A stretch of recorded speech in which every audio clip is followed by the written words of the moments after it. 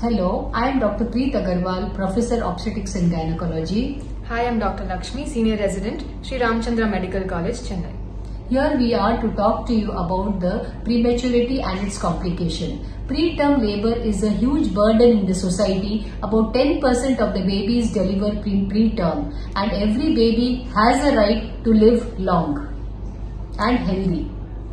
Another problem here is that when patients are being referred middle of the night from peripheral centers, particularly for NICU care, apart from having been explained the complications due to prematurity, the cost associated with prolonged NICU admission also becomes worrisome and burdening for such patients. We being in a tertiary care institute where we get lot of referred cases, see the complications which, which are having the baby suffering apart from the lung maturity, uh, hypothermia, jaundice and the long term sequelae. The parents are also associated. The parents also have a full time uh, association with the family members about the care of the patient.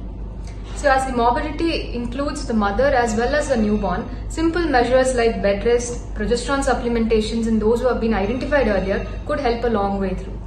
And tocolytics, as we all know, that is the medicines which can stop the preterm labor, is short-lived and only for the progesterone and only for the steroid coverage. Hence, early identification of the preterm